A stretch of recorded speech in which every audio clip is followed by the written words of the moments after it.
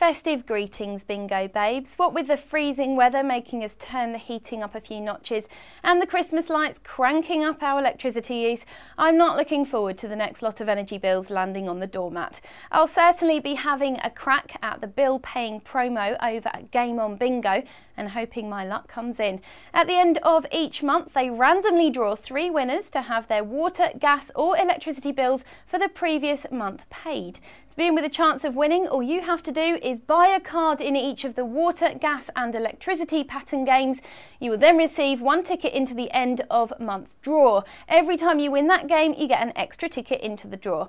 To buy your tickets today, just head over to Game on Bingo by clicking on the tab below.